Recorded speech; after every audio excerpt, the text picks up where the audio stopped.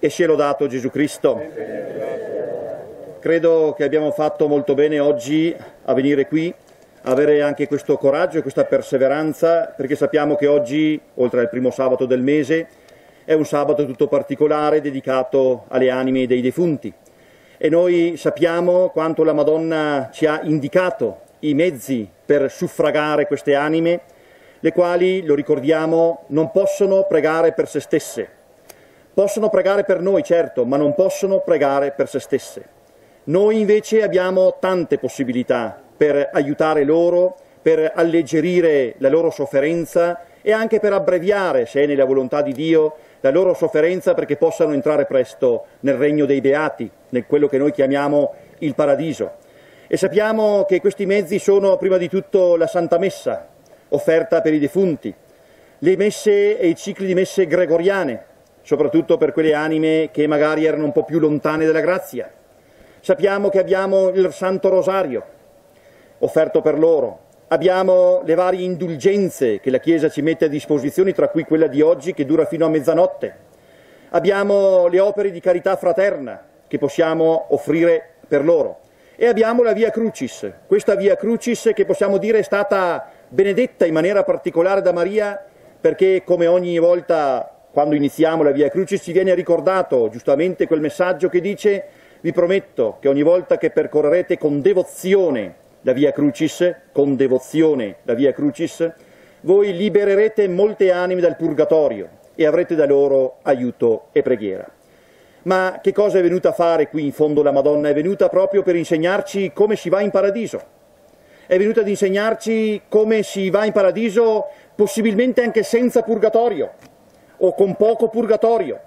Ci ha insegnato però che per arrivare là bisogna vivere in un certo modo qua, su questa terra, su questo nostro breve pellegrinaggio terreno, perché anche se campiamo cent'anni di fronte all'eternità è breve, un pellegrinaggio breve.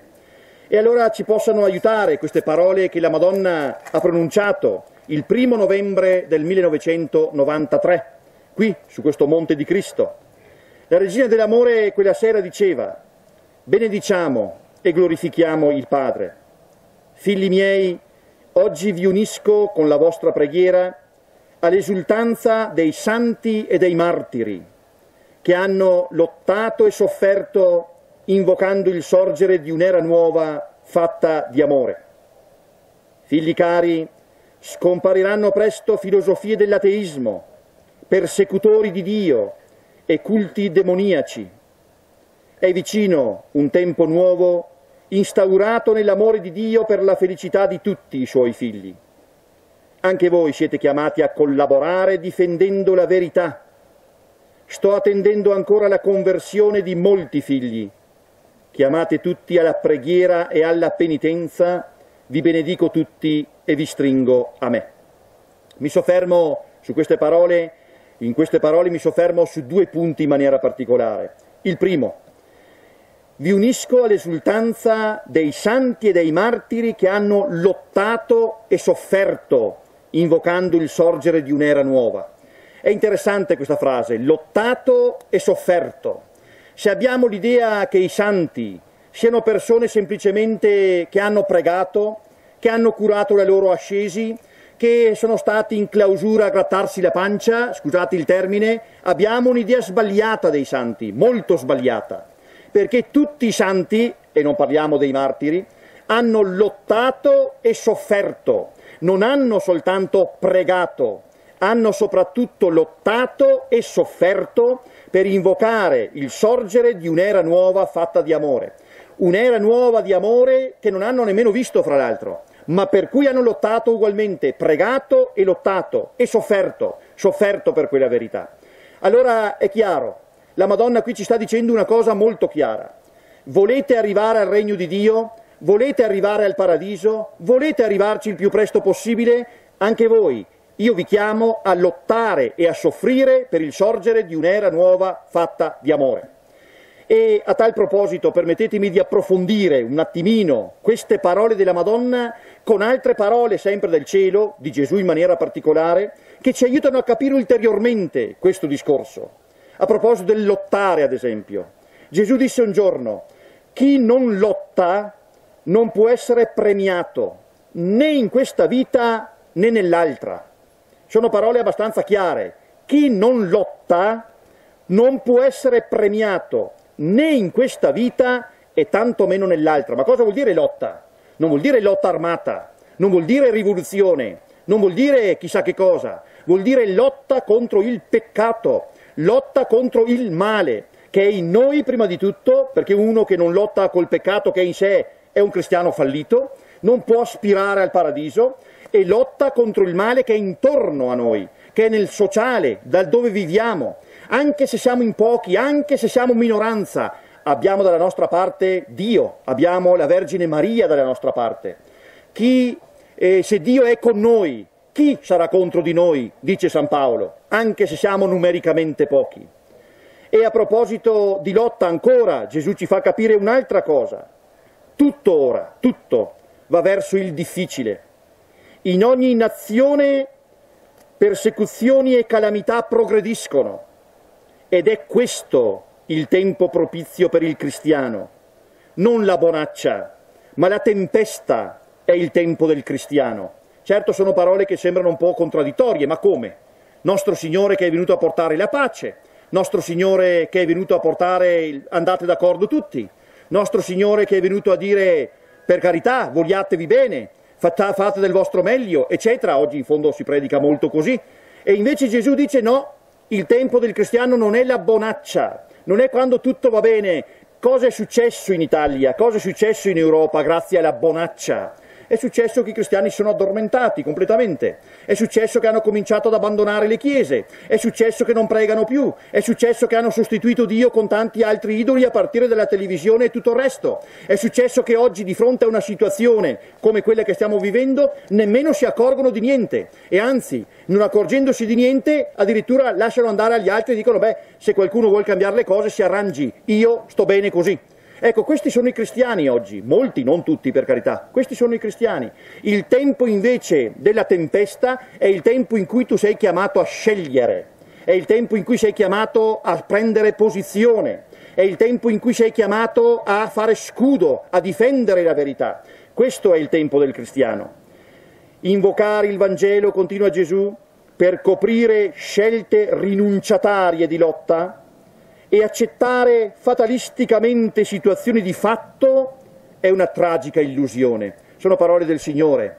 Chi vuole andare in paradiso e invoca il Vangelo per dire no, bisogna andare d'accordo con tutti, bisogna abbattere i muri, bisogna che andiamo, che non creiamo conflitti con nessuno, non bisogna essere divisivi, eccetera, eccetera, eccetera, in realtà è una tragica illusione. Non si ci può salvare in questo modo. Perché? Perché si invoca il Vangelo per nascondersi, si invoca il Vangelo per non lottare. Lottare intendo dire nel senso che ho detto prima, contro il peccato, contro il male, per difendere la verità, sia chiaro. Allora, no, no, dobbiamo, il mondo è così oggi, accetto fatalisticamente, il mondo è fatto così, bisogna andarci dietro. E credo che tanti oggi ragionano così, li sentiamo anche noi, tanti che oggi ragionano così. Ma queste parole ci fanno cambiare idea invocare il Vangelo per coprire scelte rinunciatarie, io non scendo in campo, accettare fatalisticamente situazioni di fatto, il mondo va così, bisogna andarci dietro, è una tragica illusione. Ecco che cosa significa lottare dunque, lottare secondo il Vangelo, lottare come hanno fatto i santi e i martiri che oggi sono nella gloria del paradiso. E a proposito di soffrire, lottare e soffrire. Soffrire perché? Non soffrire perché siamo, do, dobbiamo essere colpiti necessariamente da chissà quali malattie, ma dobbiamo soffrire a causa del nome di Cristo, come hanno fatto tutti i santi e tutti i martiri, i quali, attenzione, perché anche con i martiri noi abbiamo un'idea molte volte un po', un po romantica, sembra che i martiri siano stati quelli che hanno subito le sofferenze, hanno subito la morte. No, i martiri non hanno subito proprio niente, i martiri hanno affrontato la morte hanno affrontato il martirio e con delle sofferenze e con delle torture di quelle piuttosto pesanti. Hanno affrontato e, sta- e sapevano amare anche in quel momento lì. Tutto è grazie di Dio, certamente, tutto è grazie di Dio. Una grazia che però loro hanno chiesto, una grazia per cui si sono preparati. Le sofferenze indicibili di San Lorenzo, ad esempio, cotto in una graticola, no. e a un certo punto dice la, dice la, la storia, dice da questa parte sono cotto, adesso giratemi pure dall'altra parte e viene girato dall'altra parte, messo in una, ehm, come si dice, eh, fatto, fatto ai ferri insomma, ecco. Quindi voglio dire, sofferenze tremende, tremende. Eppure anche Sant'Ignazio di Antiochia, vado a farmi mangiare dai leoni per diventare puro pane di Cristo. Non ha subito, ha affrontato la morte, perché anche Cristo Gesù ha affrontato la croce per amore nostro. Ecco fratelli, allora non pretendete, dice Gesù, ancora lui, soprattutto lui e solo lui, non pretendete traversate tranquille solamente perché siete dalla mia parte. Siamo con Cristo, quindi a noi va tutto bene. E guardate che non sono mica pochi, sapete oggi che hanno ancora questa fede infantile. Se io credo, se io vado a messa, se io accendo la candelina davanti alla Madonna, a me va tutto bene, non può andarmi male niente perché io sono con il Signore. Non è fede questa. Questa è una fede clientelare. Io ti do e tu in cambio mi dai. Non è amore. Non pretendete traversate tranquille solamente perché siete dalla mia parte. È proprio il mio nome la ragione di tante ostilità contro di voi. E ne sa qualcosa anche Renato. È proprio il mio nome la causa di tante ostilità verso di voi. E forse lo sappiamo un po' tutti quanti, che frequentiamo questi luoghi o perché andiamo in chiesa e magari ci andiamo ogni giorno, eccetera, eccetera, eccetera. Io, dice Gesù, proclamo beati i perseguitati per la giustizia, l'abbiamo sentito ieri nel Vangelo. Proclamo beati i perseguitati per la giustizia. E anche qui, fratelli, molte volte intendiamo la giustizia come la giustizia terrena, la giustizia di questo mondo, che poi giustizia non c'è. Bisognerebbe capire dov'è la giustizia di questo mondo. No, la giustizia di cui parla Gesù è essere giusti davanti a Dio. Questa è la giustizia. Quindi io, pre- io proclamo beati, perseguitati perché vogliono che tutto sia giusto secondo Dio, che tutto l'ordinamento umano sia secondo Dio. Questi sono i perseguitati per la giustizia. E metto il cristiano di traverso agli avvenimenti, per far sgambetto al male, per creare una soluzione che non è quella dell'utile immediato. Chi crede, chi veramente ama, non si aspetta risultati immediati, come tante volte abbiamo la tentazione di fare. I santi e i martiri che hanno lottato, come dice la Madonna, non hanno visto nessuna soluzione. Hanno lottato per un'era nuova, fatta di amore, ma non hanno visto niente, fino ai giorni nostri. Non hanno visto nulla, eppure hanno lottato ugualmente, perché sanno che comunque l'ultima parola appartiene a, loro, appartiene a Dio perché sanno che non siamo chiamati noi a far trionfare la verità, ma siamo chiamati a servirla, siamo chiamati a testimoniarla e siamo chiamati anche a soffrire per essa, per la verità. Poi il Signore farà il resto. Ma chi ha lottato per il Signore, chi ha lottato per la difesa della fede, oggi più che mai, sicuramente riceverà il grande premio del Signore, anche se non ha visto niente di risultati su questa terra, ugualmente riceverà sia qui che di là la consolazione che viene da Dio. E c'è un secondo punto anche di questo messaggio che mi colpisce, mi colpisce ma dà speranza. Figli cari, scompariranno presto filosofie dell'ateismo, persecutori di Dio, culti demoniaci, Ecco, sono parole forti, forse non cogliamo subito il significato di queste parole, ma guardando la realtà forse siamo sollecitati a capirla molto meglio la realtà. Ecco, ad esempio, ad esempio, prepariamoci, prepariamoci, ad esempio, la settimana scorsa, la settimana appena passata, che sta passando, anzi scusate, in Commissione Giustizia della Camera si è iniziata la discussione di una legge molto particolare, una legge interessantissima, una legge, leggo il titolo perché così capiamo meglio, contro gli atti di discriminazione per motivi di orientamento sessuale o identità di genere. E parole fumose, filosofiche appunto, filosofiche, parole ridondanti. Cosa vuol dire questa proposta di legge? Vuol dire che se questa proposta diventerà legge, questa legge prevede fino a sei anni di carcere, ripeto, sei anni di carcere, se tu pubblicamente dirai, ad esempio, che non è giusto dare un bambino in affidamento, in adozione a una coppia di omosessuali. Ti daranno anche sei anni di prigione se dirai pubblicamente e sosterrai pubblicamente che non è giusto usare il farmaco che blocca la pubertà per i ragazzi perché decidano di che sesso sono. Ti metteranno in prigione di se dirai anche, se sosterrai pubblicamente anche, che uno non nasce, o meglio, che nasce maschio e femmina, e non che decide lui, che deve decidere lui di che genere è. Se dirai che un corpo maschile vuol dire che uno è maschio e che con un corpo femminile uno è femmina, rischierai la prigione. Perché? Perché il gender dice non è vero che è così, perché tu sei quello che ti senti di essere, ma se tu ti opporrai a questa a questa ideologia che ormai sta facendo e sta crescendo sempre di più, rischi, ripeto, fino a sei anni di prigione. Se poi più semplicemente dirai che non è giusto insegnare il gender nelle scuole, lo sosterrai pubblicamente, a maggior ragione ti prendi o una multa salatissima o fino a sei anni di prigione. Ecco, questo stanno preparando i persecutori di Dio, persecutori di Dio.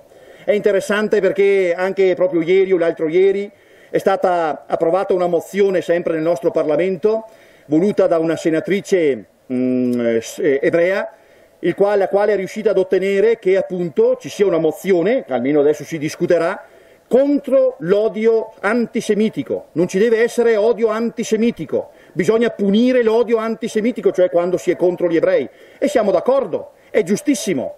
Ma stranamente quando si fanno queste leggi non si parla mai dell'odio contro i cristiani, di, queste, di, questi cristiani che patiscono in silenzio, eccetera, eccetera. Non se ne parla mai di questo. Odio, no all'odio contro gli ebrei, no all'odio, non l'islamofobia, non l'odio contro gli animali, non questo, non quello, ma, con, ma su, nei confronti dei cristiani mai, mai nessuno che ci possa pensare, mai nessuno che faccia una mozione per loro e sono 300 milioni, non uno, 300 milioni i cristiani che vivono in zone dove c'è la persecuzione dei cristiani. 300 milioni di cristiani, non sono niente, 300 milioni che non hanno diritto neanche di una difesa, neanche di una parola. Eccoli i persecutori di Dio, eccole le filosofie dell'ateismo, senza contare quello che poi ormai è sulla bocca di tutti, purtroppo, purtroppo sulla bocca di tutti. E abbiamo visto anche in questa settimana abbiamo sentito un sacerdote della diocesi di Verona che nella sua parrocchia fa pregare la Pachamama. Cos'è sta Pachamama? È la dea della madre terra, la madre terra amazzonica delle Ande, là, di quelle zone là, di cui hanno fatto un sinodo. E quel prete di Verona neanche colpevole del tutto a dir la verità, perché questa iniziativa da dove è partita? È partita dall'organismo della CEI, Missio, si chiama Missio perché si occupa delle missioni, è un organismo pastorale della CEI che ha detto a quei preti che desiderano, a quelle diocesi che desiderano, diffondete la preghiera a Pachamama e fate pregare le parrocchie perché preghino questa Pachamama per la madre terra, eccetera, eccetera, eccetera. Ma la domanda è, ma dove stiamo arrivando? Sono quelli stessi, questi qua, che ti fanno pregare Pachamama, sono gli stessi che se chiedi di andare a benedire le case, che se chiedi di fare le erogazioni e tante cose del genere, ti dicono che sei superstizioso e ti ridono dietro perché dicono non siamo mica più nel Medioevo oggi, ma ti fanno pregare la Pachamama, ti fanno pregare un idolo che non ha niente a che fare col cristianesimo, come se non si ricordassero che il primo comandamento dice chiaro, io sono il Signore tuo Dio, io, non avrai altri dei di fronte a me, non ti prostrerai addirittura, non ti prostrerai, dice il primo comandamento, non ti prostrerai davanti a loro e non li servirai, che cosa abbiamo visto nelle fotografie? Nessuno può negare, perché sono fotografie che hanno girato il mondo intero. Abbiamo visto religiosi, addirittura frati, che si erano inginocchiati di fronte agli idoli amazzonici che sono stati portati in Vaticano, prostrati davanti a loro. Abbiamo visto vescovi che portavano in processione gli idoli e le statuine eh, de, de, de, del Sinodo dell'Amazzonia, per il Sinodo dell'Amazzonia. Attenzione fratelli, perché chi non conosce Cristo senza sua colpa non ha colpa se adora, se venera queste cose, ma chi ha conosciuto Cristo sa bene, primo comandamento catechismo della Chiesa Cattolica, che non ci si può prostrare davanti a queste cose. Addirittura Gesù nelle tentazioni nel deserto, la terza o seconda o terza tentazione cosa dice? Quando Satana gli fa vedere tutti i regni della terra, gli dice se prostrato mi adorerai, sono tutti tuoi i regni della terra. E Gesù risponde in maniera chiara, vattene Satana, sta scritto adora il Signore Dio tuo e a Lui solo rendi culto, a Lui solo rendi culto e nient'altro e a nessun altro, a Lui solo rendi culto. Basta, e, e qui torniamo ai santi e ai martiri, che non si sono piegati, che non si sono piegati di fronte agli idoli di questo mondo. Basta leggere il secondo libro dei Maccabei, avete presente la figura del vecchio Eleazzaro che per non mangiare carni proibite si fa uccidere. Avete presente quella madre che in un giorno solo vede morire sette figli perché? Perché non sono piegati ai dettami pagani dell'imperatore. Sette figli in un colpo solo, libro dei Maccabei, Antico Testamento, quindi già nell'Antico Testamento si moriva per non prostrarsi di fronte a dei stranieri e idoli pagani. Perché il cristiano sa che quando non si prostra davanti al vero Dio, si prostra davanti a qualcun altro. Che gli piaccia o no, si prostra davanti a qualcun altro. Culti demoniaci. Ecco fratelli, spariranno presto, dice la Madonna, è una speranza, spariranno presto, ma dobbiamo avere le idee chiare, anche noi.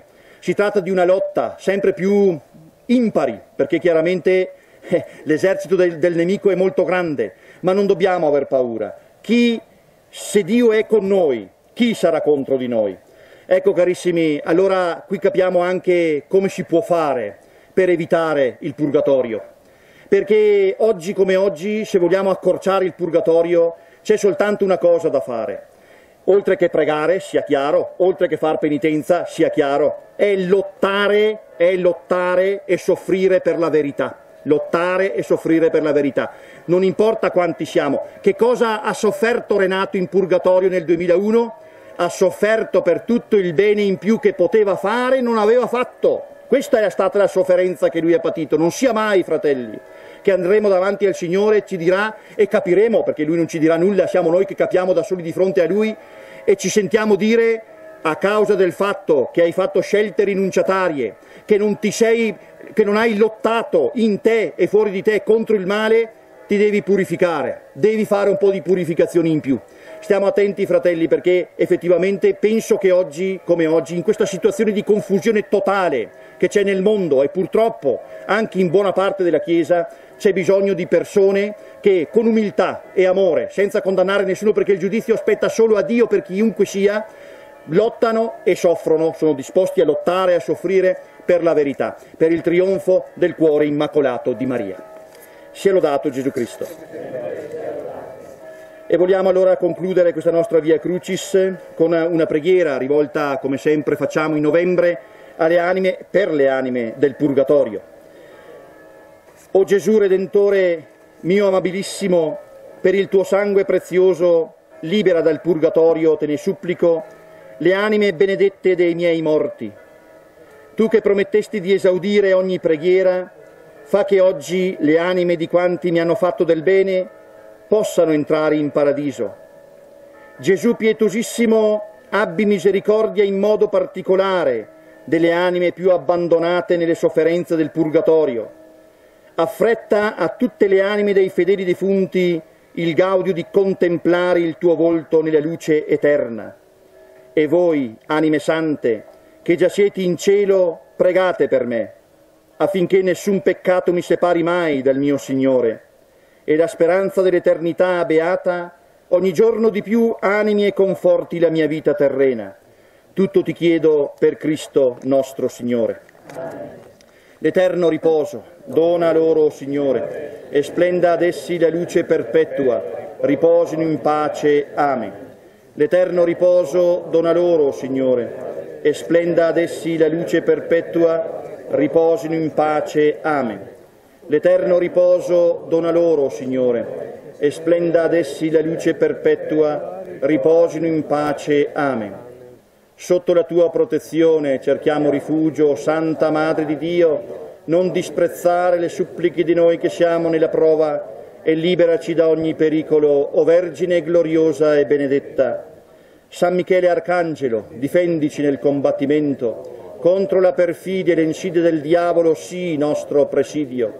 Ti chiediamo supplichevoli che Dio lo abbia a vincere e tu, principe delle milizie celesti, con la potenza di Dio rinchiudi nell'inferno Satana e gli altri spiriti maligni che si aggirano nel mondo per rovinare le anime, così sia. Gloria al Padre e al Figlio e allo Spirito Santo, nei secoli dei secoli. Amen. sia lodato e ringraziato in ogni momento, sia benedetta la santa ed immacolata concezione della Beatissima Vergine Maria, Madre di Dio e Madre nostra, e per intercessione di Maria, Regina dell'amore, di San Giuseppe e di tutti i santi, dei nostri angeli custodi e delle anime sante del Purgatorio, il Signore ci benedica, ci preservi da ogni male e ci conduca alla vita eterna. Amen. Nel nome del Padre, del Figlio e dello Spirito Santo. Amen. O Maria, Regina del mondo, Madre di bontà, fiduciosi nella tua intercessione, noi affidiamo a te le nostre anime. Accompagnaci ogni giorno alla fonte della gioia donaci il Salvatore. O Maria, Regina del mondo, Madre di bontà, noi ci consacriamo a te, a te, Regina dell'amore. Sia lodato Gesù Cristo. Sempre sia lodato.